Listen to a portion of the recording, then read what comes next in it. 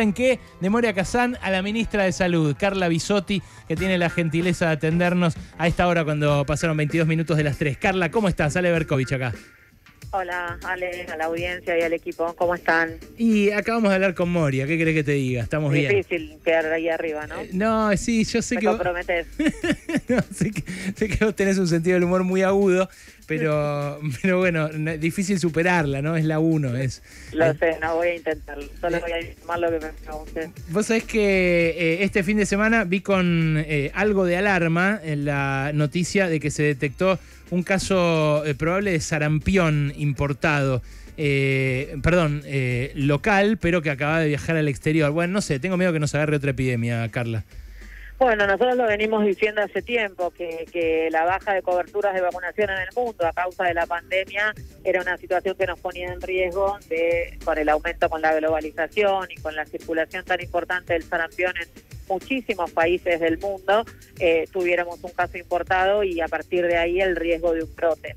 Y lo que pasó fue que una persona venido de- del Medio Oriente, estuvo por varios países eh, y eh, llegó eh, y bueno, tiene eh, un, acabamos de confirmar el sarampión porque se confirmó en la Liz Malbrán, eh, la PCR fue positiva, ahora estamos genotifi- genotipificándolo, así que tenemos un caso confirmado de sarampión en una residente de la ciudad de Buenos Aires, estamos con Ciudad de Buenos Aires haciendo la investigación del caso que ustedes saben consiste en eh, la investigación desde el inicio de síntomas de todos los contactos o antecedentes de vacunación, si están con síntomas algunos de ellos y el, el alerta que se emitió el fin de semana es para el equipo de salud sensibilizar muchísimo en la sospecha diagnóstica y la toma de muestras y para la población si tiene algún síntoma de lo que se llama enfermedad febril exantemática, que es rash, algunas manchitas en la en la piel, eh, fiebre, conjuntivitis, rinitis, eh, eh, digamos, consulten inmediatamente para, para poder minimizar el impacto y, por supuesto, controlar las vacunas, que Eh, todos y todas tengamos las vacunas al día. Eh, ¿Esto lo podés reiterar? ¿Cuándo es que hay que ponerse la, la antisarampionosa?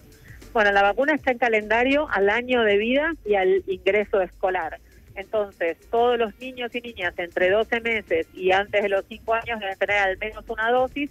Los mayores de 5 años, niñas, niñas, adolescentes y adultos que hayan nacido eh, después de 1965, porque si nacieron antes se consideran impunes, porque el sarampión circulaba libremente, deben tener al menos dos dosis.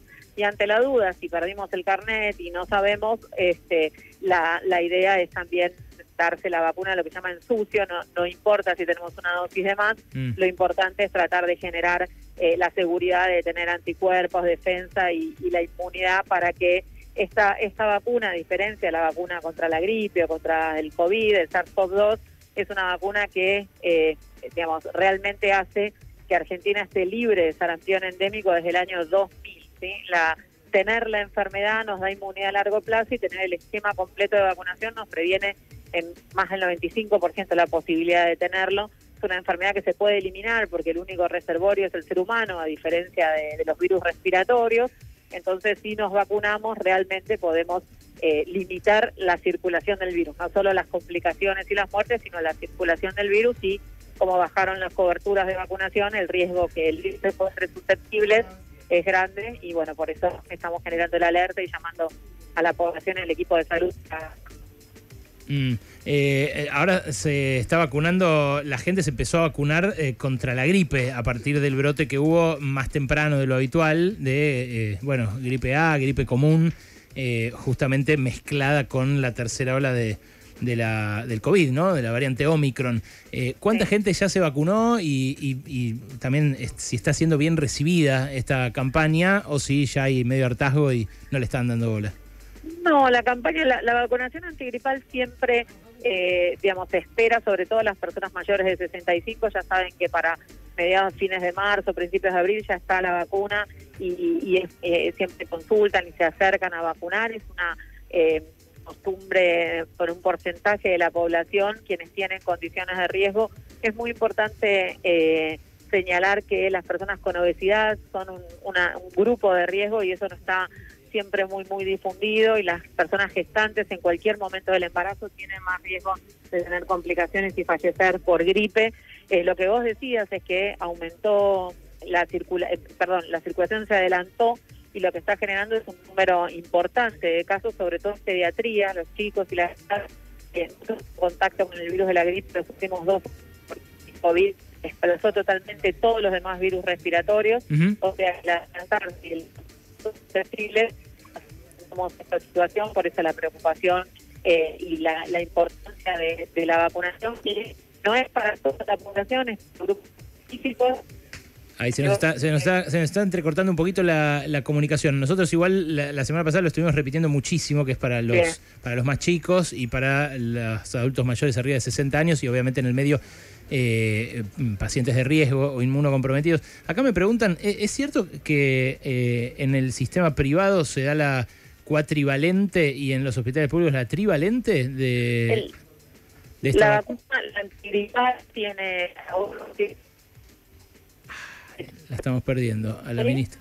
Estamos hablando de la ministra de Salud, Carla Bisotti, pero se entrecorta seguramente por alguna cuestión de señal eh, en donde... En ¿Ahí vos me escuchás o no me escuchas nada? Sí, pero mm, eh, algo entrecortado. Ahí, ahí, ahí, si te quedas quieta, capaz podemos seguir.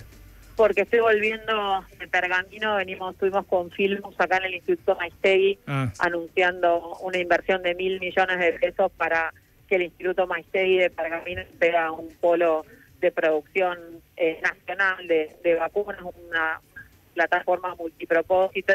Eh, hicimos eh, el anuncio para mí y la eh, y la agencia de investigación de con Fernando mm. Piano.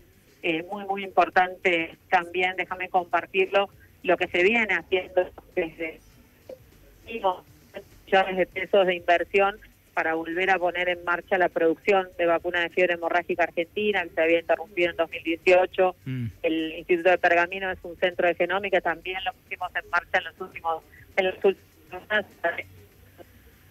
para hacer el plasma de convalecientes, que es el único tratamiento de la fiebre hemorrágica argentina, que es una enfermedad argentina que tiene una vacuna argentina que si no la producimos nosotros no la produce nadie y no tiene formas de prevención. Así mm. que ha sido una jornada súper importante en Pergamino, donde con el Ministerio de Ciencia y Tecnología esta sinergia y, y potenciar la producción local de insumos que la pandemia nos mostró bueno. importancia. Algo enganchamos de esto último, pero muy entrecortado, así que eh, te dejo acá y, te agradezco por la advertencia respecto del sarampión, que bueno, nada, es, eh, es un caso eh, por ahora que se ha detectado, no es un no llega a ser un brote, pero vale, digamos, para alertar sobre la importancia de vacunarse.